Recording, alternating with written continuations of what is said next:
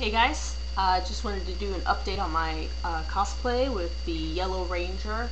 Uh, I showed you the helmet last time, it was all in one piece, I still needed to sand it. So um, once again I just followed the tutorial at the Hero Tutorials. Um, and I think it's been turned out pretty well. Um, you know, Uh, so what I ended up doing is uh, I did take a Dremel to it and cut it in half. It was the scariest part of the whole thing. But uh, once I had it sanded, what I did is I took a, a piece of dental floss and I wrapped it around to where it was straight and I could see, you know, a straight line. I spray painted over top of it because it hadn't been painted yet then I took the string off and there I had a nice straight line that I could follow with my Dremel. And if you look, you know, the line that I cut is pretty straight. It wasn't too hard to cut through with the Dremel. So um, that was a good thing.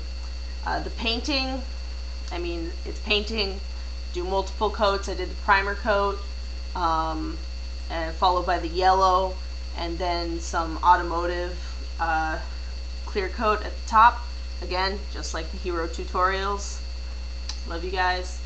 Uh, I also did a little bit of detailing on the mask. You might not be able to see it, but everywhere you have these silver lines, I went in with the Dremel and um, made it a little deeper. And then I used a, a, paint marker to go in and highlight those. So uh, the rest with the, the teeth and the eyeballs, those are just regular uh, hand painting the nose with acrylic paint. Um, and so then I did the clear coat after painting all of those details. Um, another hard part with this one was the magnet system that I decided to use. So these are the neodymium magnets. You can actually get them from the craft store. I got these from Michael's so that way you don't have to buy them online. But uh, the first try, I tried this small type but uh, in the end, what you're going to want to use is this larger type here. Uh, the biggest pain in the butt is getting it to stay. So with all of these, um, you can I used multiple things. I tried to use Bondo. I used gobs of hot glue. I used Gorilla Glue when the hot glue didn't work, like if it peeled off. I used the Gorilla Glue to get it on there. Um, and as, as a result, uh, got the two halves They come together pretty easily. All one, one, one piece. My head fits in there. It's not too much of a problem. Um, with the ponytail, uh, it doesn't fit, but I think I'll be able to figure something out for that. It's not a big deal. Um, this this mouthpiece down here, what I ended up doing was taking some, um, taking a mold of my own mouth. Uh, I can't remember what the name of the product that product is. It's the one that they use to make masks a lot. It's kind of like um, plaster of Paris, but it's in strips. So I did that over my mouth, and I got some air dry clay, pushed it into the mold, took it out, and made sure that it fit into this part of the helmet, painted it, hot glue gunned it in. Um, so that one, again, I think it turned out pretty well. So that's that's how I did that part. Uh, one of the worst parts was this thing here. Now, I, I'm pretty pleased with how it turned out in the end, but um, that took hours and hours of work. So the first mistake I made is uh, polycarbonate is not the same thing as acrylic. So when you go to Home Depot, pick up a sheet of acrylic, they're going to have a polycarbonate right there with it polycarbonate is not going to work. You can't bend it the way that this one's bent, okay? Um, may maybe if you got really high temperatures you could do it, but I got frustrated and I couldn't do it. Second thing, make sure the piece that you buy is clear.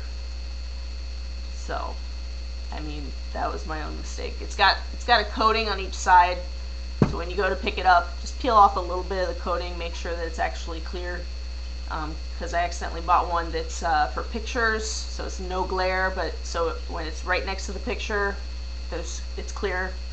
When you have it pulled away, it's frosted. So the last time I went, finally got an actual piece of acrylic. Thinnest one I could find was 0.093 inches. Um, and what you want to do is you put that in the oven for about five minutes at 250 degrees. This larger piece right here required a little bit more. But when you take it out, it's going to be kind of floppy. I mean, you'll know right away it'll, it'll be floppy. And um, I went ahead and I actually pushed it right up against the place that I wanted it to be. I was worried maybe it would burn, but um, there weren't any ill effects. So then I went ahead and molded it to the shape and um, that was the shape. I did have to do a lot of cutting with the Dremel to cut the shapes that I wanted. So this piece is separate from the two on the sides. But uh, I, I think I could have done it with one piece, but I think it might have been harder because it was, uh, you know, it's a pretty big thing. If you get one thing wrong, then it might not fit. Um, the last thing I did, so all of that process with the acrylic, um, I couldn't find any shaded acrylic. It's all clear. So what I did was I bought some uh, some car from the automotive store car tint and uh, I put it along the acrylic and it's actually a lot harder than you think it is because initially it says to put it on the inside well with the curve of this uh, putting it on the inside, I just had all kinds of bubbles. It was it was ridiculous. Um, I had two different types. I this is the darker tint that I ended up going with, um, but this one had like a sticky backing and it made it really difficult. But I went around the outside just extremely painstakingly slow, uh, making sure all the bubbles were out. And you can see, I mean, I had a little tiny, little tiny bubble there, but you know, that's much work as I put onto that, I think I can handle it. But uh, I did it along the outside instead of the inside. It was a lot easier. Um, the other type that I had just was uh, more like almost like a plastic overlay with no sticky stuff on it. Um, and that one was just too light, but it was a lot easier to work with. So if you can find one that's the dark tint that you need, but it's that kind of plasticky one, uh, that that would probably be the easiest thing to do. Um, so it's really, really about done. The only thing I want to do is put some padding on the inside. So I got the padding done on this piece.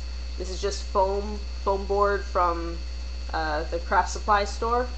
And that's just so I don't get any, I, I mean I sanded the inside but I don't want to get fiberglass on my hand or, my, or on my face. So I'm going to do that on this side and on this side.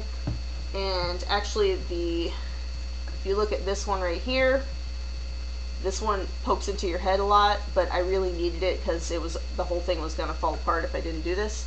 Um, so I actually bought some sponges from Home Depot so that I can put that on there and once everything's together I'm hoping it'll clamp real solid so that I can move around maybe, maybe do a stunt which is not going to be anything more than cartwheel um, if I can do that but uh, yeah, so I haven't seen too many tutorials on how to make the helmets specifically.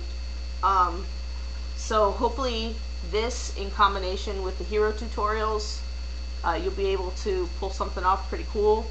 Um, and yeah, that's that's about it.